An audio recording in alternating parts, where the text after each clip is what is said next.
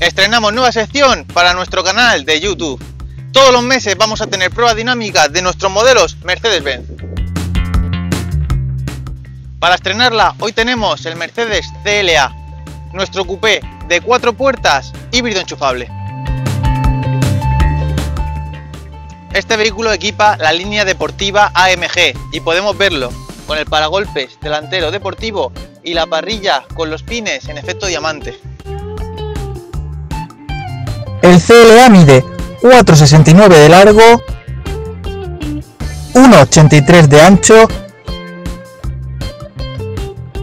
y 1,44 de alto. Además, también tenemos llantas AMG de 5 radios dobles en combinación con paquete noche que tiene todos los cromados en negro, espejos en negro y llantas oscurecidas y pulidas alto brillo.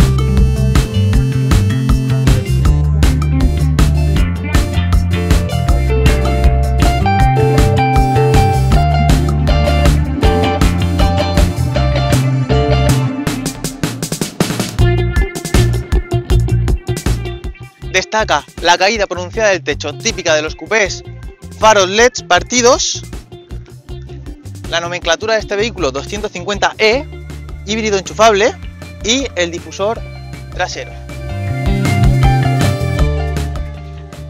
La capacidad total de maletero es de 390 litros.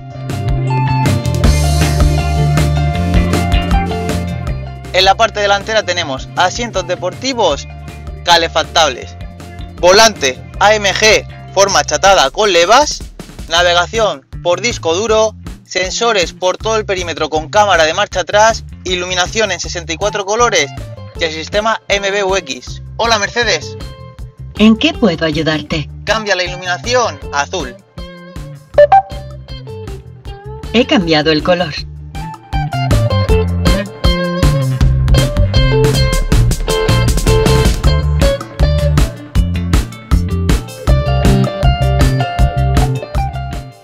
En la parte trasera tenemos asientos deportivos y un espacio más que suficiente para cuatro personas, ya que mido 1,80 y todavía no toco el techo. El asiento del central es un poquito más duro, pero tenemos reposabrazos y también reposacabezas. Aquí como podemos ver, el túnel de transmisión está un poquito elevado y nos quita un poquito de espacio, pero aún así podemos viajar. Esta unidad equipa un motor de 4 cilindros gasolina con 1333 centímetros cúbicos que da una potencia de 160 caballos.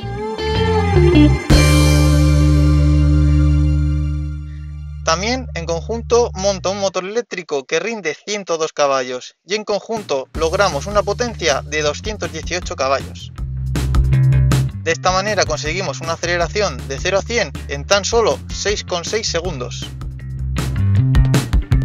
La caja de cambios que lleva este motor asociada es automática y de 8 velocidades. El coche monta una batería de 15,6 kWh y conseguimos una autonomía de en torno a 55 km en modo totalmente eléctrico.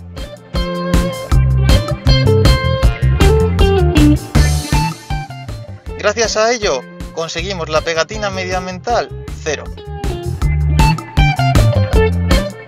Los tiempos de carga en este vehículo oscilan entre 5 horas y media que tardaría en un enchufe doméstico, 3 horas y media que tardaría con un wallbox a una potencia de 3,7 kWh y con un wallbox de 7,4 kWh tardaríamos una hora y 45 aproximadamente.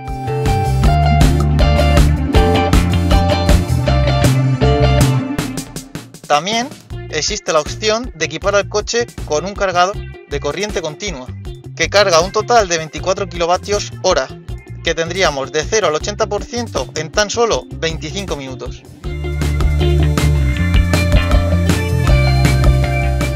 Para combinar el motor térmico y el motor eléctrico tenemos un botón para seleccionar los diferentes modos de conducción.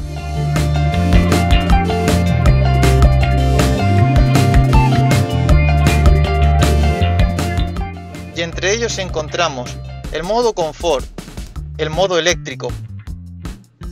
También tenemos el modo Sport, el modo Battery Level. Por último, también tenemos el modo Eco.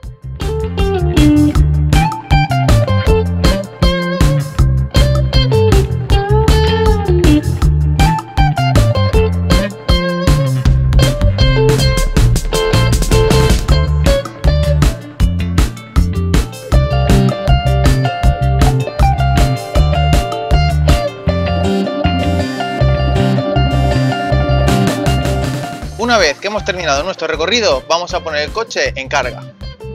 Cargándolo a 7,4 kWh, vamos a tener la batería cargada completamente en 1 hora y 45 minutos. Si por el contrario lo cargamos a 3,7, en un poquito más de 3 horas tenemos la batería completamente cargada.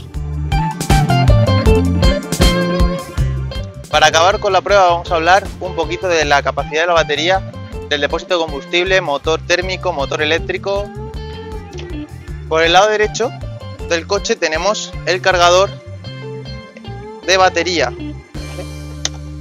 De serie viene con un cargador de 3,7 kWh. De forma opcional se puede cargar a 7,4. Además, también tenemos la opción de carga continua, que puede cargar hasta 22 kWh, eso sí, en una, con carga continua, una electrolinera, por ejemplo. La capacidad de la batería es de 15,6 kWh en la parte izquierda del vehículo tenemos el depósito de combustible que se abre desde la puerta del conductor.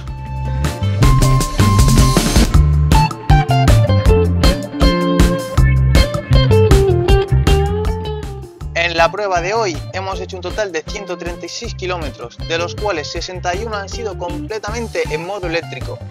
Como podéis ver, 5,6 litros cada 100 kilómetros de consumo medio y de electricidad 4 kilovatios hora a los 100 kilómetros. Hasta aquí la primera prueba de nuestro canal de YouTube. No olvidéis suscribiros a nuestro canal y recuerda que puedes seguirnos en nuestras redes sociales. Nos vemos en el próximo vídeo. Un saludo.